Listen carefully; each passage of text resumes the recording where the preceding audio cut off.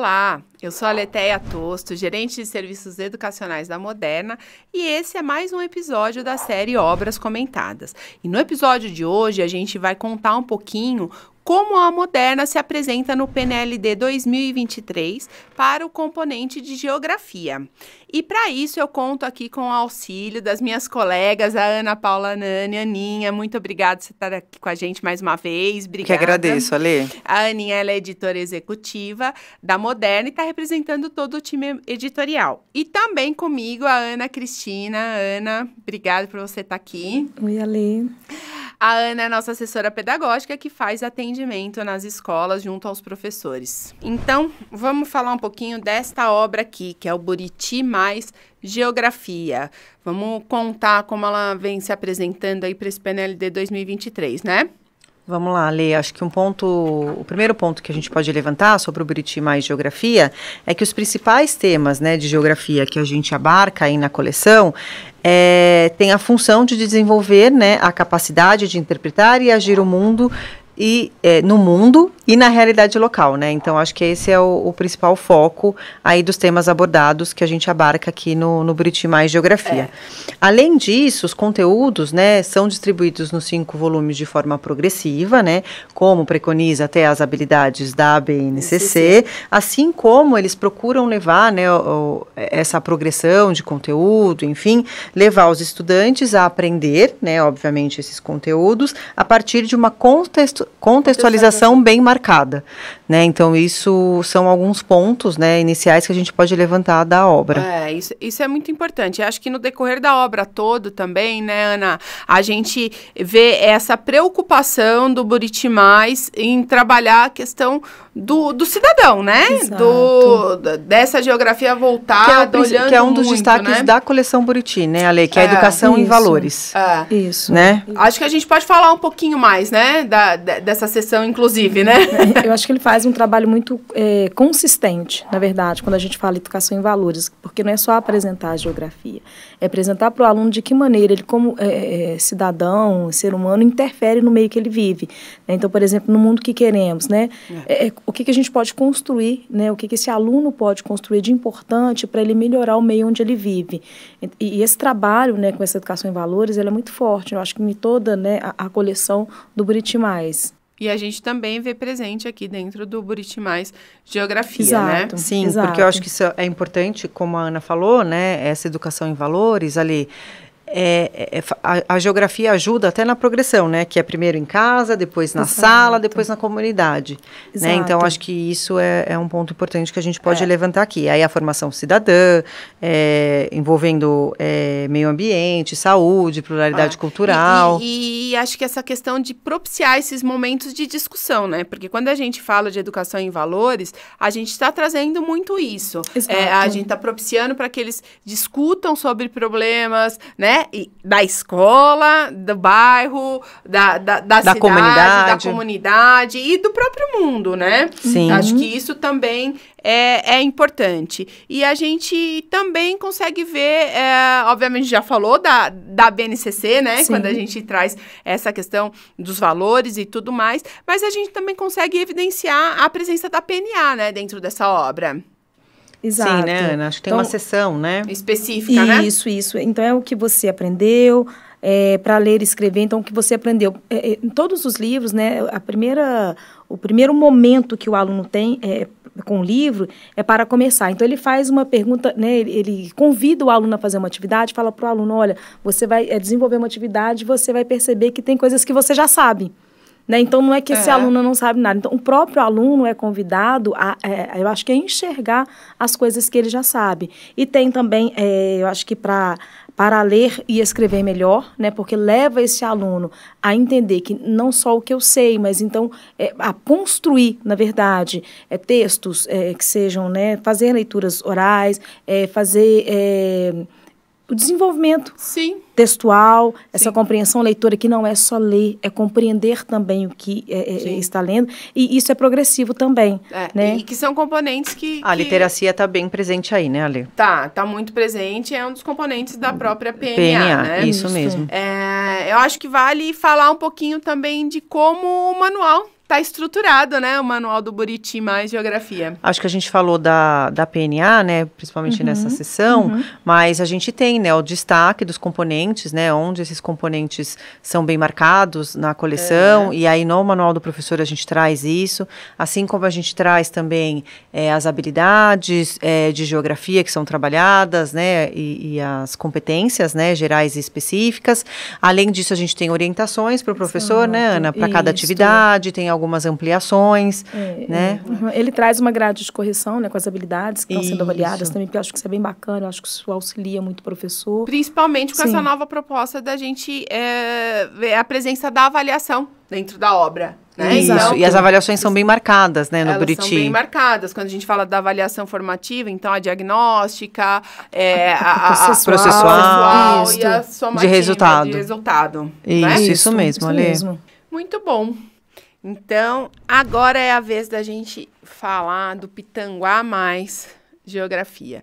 Então, vamos contar um pouquinho de como essa obra ela vem se apresentando para o PNLD 2023, né, Ana? Isso, vamos lá, Lê. Eu acho que uma característica né, do Pitanguá Mais né, da coleção Pitangua Mais, é que é uma obra objetiva, né, com uma linguagem acessível. Tanto para o aluno quanto para o professor, né? Isso, né? tanto o aluno quanto para o professor. Eu acho que as páginas são bem equilibradas, com, entre texto e imagem, né? O projeto gráfico, ele é atrativo para o aluno, pra, né? Para ter essa identificação do aluno, né? Isso, né? isso. Né? Ou até para ajudar, né, na dinâmica em sala de aula, acho que isso é bem importante, o Sim. projeto gráfico. Além disso, os textos, né, eles são... É, forma direta, né, a linguagem é clara, uhum. o que uhum. também facilita, a, auxilia né, a condução do trabalho por parte do professor. Né? As temáticas escolhidas né, traz uma proposta educacional reflexiva, uhum. né, que é, faz é, com que o aluno tenha uma compreensão complexa né, da, da, da complexidade, desculpa, da relação é, da sociedade com a natureza, né, que é o objetivo né, principal da obra da obra. E como, em que ponto a gente consegue identificar isso que a, que a Aninha acabou de dizer pra gente, Ana? Então, falando um pouquinho mais sobre a estrutura né, da obra, eu, eu, ele já começa a abertura com Conectando Ideias, que é justamente para fazer esse levantamento prévio, né? O que, que esse aluno sabe, para onde é que a gente precisa caminhar, mas são é, perguntas muito diretas, né? Como a própria Aninha falou, ele é um livro que traz propostas de atividades Sim. muito claras, muito diretas, e, e, os próprios textos utilizados, seja na abertura das unidades, né, seja né, no, na sistematização mesmo uhum. do conhecimento, são muito objetivos. Então, é, é, um, é um trabalho, é um material que, que dá ao professor é, conforto, né, para trabalhar. É um material confortável, né, que ele tem essa dinâmica bem confortável para o professor. E ele acaba olhando também para a formação integral do aluno, né? Sim, sim tem até sim. uma sessão, né, Ana? Acho que é Cidadão do Mundo. Cidadão do Mundo, que conecta, né, vamos dizer assim, esse aluno com outras é, realidades. Então, ele traz a geografia, traz aspectos da geografia, mas traz esses aspectos da geografia em outros contextos. Né? Então, esse aluno, de onde ele está, ele consegue entender que existem outras realidades, né? E quais os contextos contextos dessa realidade é numa visão geográfica, né, dessa mudança, sei lá, é, climática, é, por exemplo, ele traz outros contextos até de, de, de sociedade mesmo para esse aluno. É, isso é importante, né? A, BNCC traz isso muito forte, né? Esse desenvolvimento desse aluno de maneira integral. É, e quando a gente fala de BNCC, a gente vê ela muito bem demar, a, demarcada na obra e também a gente consegue identificar algum, alguns componentes da PNA. Sim, né? Ale, porque a, a, gente precisa né, trazer esses componentes, como a fluência oral, a questão do vocabulário, e isso também é presente na obra Pitanguá Mais Geografia. E a gente consegue identificar, é, especialmente deixar muito claro isso para o professor, né? No sim, manual do sim, professor. no manual do professor, então a gente tem o box, por exemplo, o destaque é, da PNA, ah. que é onde a gente traz os componentes da PNA. A gente tem é, destaque da BNCC, que é onde a gente traz as habilidades de geografia, né? Que são trabalhadas ali, além das competências, né? Então isso está bem marcado no manual do professor, além das orientações para as atividades, né? Que também são claras são claras, né, é, auxiliam, objetivas é. e auxiliam uhum. mesmo o planejamento, né, a proposta para o professor. Exato, ele traz é, um, um, uma sugestão né, de um relatório de mapeamento de defasagem da turma, né, isso também é uma característica da obra. Então, não é só de habilidade, né, o objetivo daquele, daquele conteúdo, daquele conceito que a gente estudou, ele foi atingido? Uhum. Se não foi, que estratégia eu preciso, enquanto professor, lançar a mão para que esse aluno atinja? E para o aluno, eu acho que também a gente tem aí umas questões da PNA que estão muito presentes é, no, no numa sessão que chama Para Saber Fazer.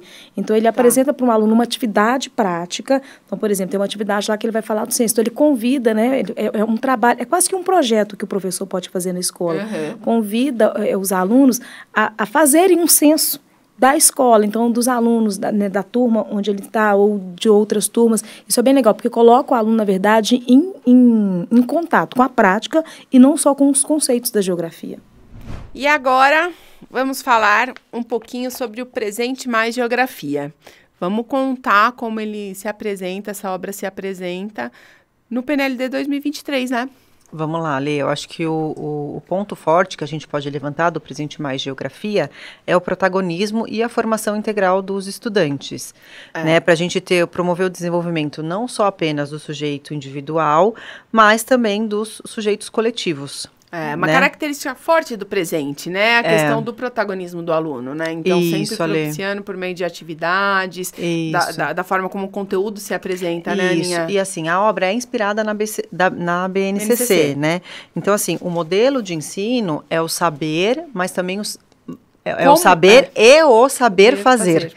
Né? Então, acho que esse é o, é o é. modelo é, do Presente Mais. Até porque é, quando ele... Não adianta saber, né? Ele precisa saber fazer, porque assim Isso. assim a aprendizagem acontece de uma maneira mais efetiva, de uma maneira mais significativa. Isso, valorizando também o procedimento da investigação científica para a geografia, né? É, é. E acho que uma característica importante também do presente é sempre isso, né? A abertura de, de unidade, ele sempre traz uma situação-problema. Né? Isso, né? uma questão isso. problematizadora. É isso é mesmo, isso Ale. Porque daí, por meio dessa, dessa questão problematizadora, a gente acaba acontecendo o levantamento de hipóteses do aluno, né? Isso, isso mesmo. Aonde ele cria novas estratégias para resolver problemas. E, e, tem sempre a retomada, e, né? E a retomada. Uma retomada isso. com um, um, avanço do conteúdo. Exato. Né? É, que aí é o Aquele trabalho que ele faz em espiral. E espiral isso, também presente no, na, na, no, na, na obra, coleção. né? Isso, é, na coleção mesmo. Presente Mais.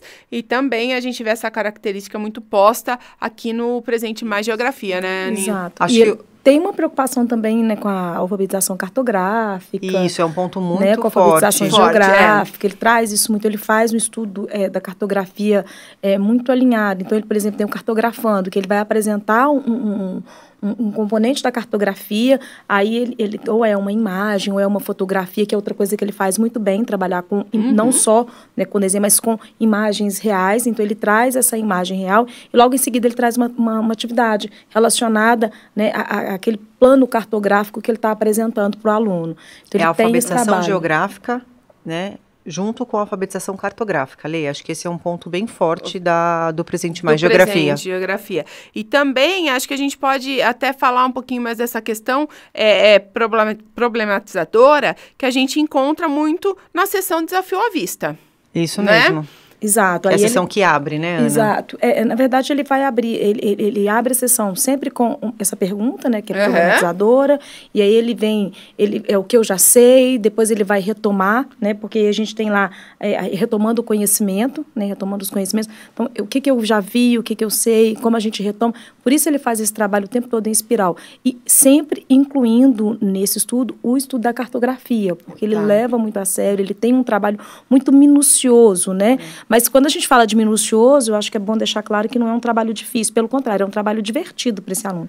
É para ele entender né, como é que a gente desenha, como as ruas do, do bairro são representadas, se eu quero, por exemplo, da minha casa na padaria, qual é o melhor trajeto mesmo, que esse aluno vai. Né? Exatamente. Então é tudo muito, é tudo muito gostoso para esse aluno. E ele vai se identificando Ficando. em atividades que ele faz no dia a dia dele, que é ir para a escola, né? Qual é o caminho uhum. que o uhum. ônibus da escola toma, ou se eu vou a pé, qual é o caminho que eu faço, enfim. É, traz a cartografia para dentro dessa realidade. É, e eu, acho que as... Oi, desculpa. Não, imagina, Ale, acho que a, a, a Ana está falando muito da cartografia, né? Da Isso. alfabetização cartográfica. E eu acho que um ponto importante da obra é a, as distintas linguagens, né? Textuais, é, verbais e iconográficas. Então, é, diferentes fotos, desenhos, maquetes, plantas cartográficas, mapas, imagem de satélite, gráfico, né, e outros recursos. Então, é, é uma obra muito rica, né? E o manual do professor traz todo o suporte para a utilização dessas diversas linguagens, né? Porque o manual do professor é muito robusto, né, Ana? Verdade, ele traz informações, não só informações, ele traz, eu acho que um aprendizado, na verdade, é, para o professor em relação ao trabalho que ele está fazendo em sala de aula, é. né? Então, aprende tanto o professor quanto o aluno. O professor com esse manual, que tem informações é, claras... Não só orientação, mas de formação para o professor, de formação né? para o professor. É, e lá a gente, a, a, também no manual, né, ele serve como um suporte é, é um suporte muito grande para o professor, com essa pers perspectiva de formação e também de definição, né? Então lá a gente falou muito da BNCC, né? É, o, o presente ele acaba mais ele acaba sendo criado pela BNCC, mas a gente identifica os pontos da PNA também, né? Sim, tem lá. Então, no manual do professor, a gente consegue ver muito claro a, a presença de alguns componentes, como a questão da, da literacia, de, de alguns trabalhos que é feito e, e ele acaba sendo identificado, identificado dentro do material, né? Isso, é muito... Sim, é, é, sim. É, o registro, né, a identificação é bem feita, é. né? Então o manual do professor, é. É, o, o, professor se sente seguro, né? O, e outra e outra questão que eu queria também é só para a gente, é, acho que finalizar a questão do, do presente mais geografia é, é a, como ele está estruturado por meio dessas sessões que a gente falou do desafio à vista, retomando conhecimentos, tudo isso, da preparação para o aluno da avaliação, né? Da questão da avaliação, mesmo, da avaliação formativa que vem trazendo o PNLD é, 2023, trouxe isso muito forte e é essencial, principalmente nesse, nesse momento das recomposições das aprendizagens. Então, isso, é, isso. o presente olha muito para essas avaliações e a forma como ele entrega essa perspectiva para o professor e para o aluno, ela é muito interessante, né? Que calha também na, na, no eixo principal do presente, que é o protagonismo, né, Ali? Sem então, dúvida. junto com essa avaliação, a gente também é, desenvolve isso, né? É, e ele traz lá um, um ponto para esse professor que é superando as defasagens. Então, acho muito legal, né? Porque ele traz essa... É, essa e ele traz também esses conceitos de, dessas avaliações, que é a processual, enfim. E como é que o, o professor trabalha as defasagens que ele identifica, né? É. Ao longo do processo de aprendizagem do aluno. Como abordar, né? Porque Exato. ele tem que é, é, trabalhar as defasagens e continuar com o que está proposto ali em planejamento Exato. Isso mesmo. Ale, então acho que a gente falou das avaliações, que é um ponto importante, né, para esse PNLD 23, mas eu acho que tem dois pontos que é interessante a gente salientar, né, ressaltar aqui do presente mais geografia, né? Eu acho que são as temáticas escolhidas, né, que muitas delas são relacionadas às ODS, né, que são os Objetivos de Desenvolvimento Sustentável da ONU, né, e como a obra valoriza, né, os procedimentos de, de investigação científica, né, até para o protagonismo é, juvenil, né, do estudante, para a autonomia dele, eu acho que tem algumas atividades, né, que são para a uhum. construção do conhecimento que é, a gente tem pesquisa em diversas é, fontes, né, de uhum. consulta, uhum. a gente tem entrevistas e trabalho de campo. Então, isso ajuda também nos procedimentos de investigação científica, né? Não, Aninha, é super importante você trazer isso, né? São características muito latentes dentro do Presente Mais. Isso mesmo. Gostaria de agradecer mais uma vez a presença de vocês aqui comigo. Sempre muito bom poder partilhar com vocês esses momentos. Obrigada. Obrigada, Lê. E também eu gostaria de reforçar a importância de uma escolha acertada. Por isso, faça o download das nossas obras aprovadas no site pnld.moderna.com.br. E também, a qualquer momento, vocês podem entrar em contato com a gente via WhatsApp, que é no 11 29 20 5162. Todos os episódios eles estão disponíveis no nosso canal do YouTube. PNLD 2023 com a Moderna. Compromisso com quem faz a escola.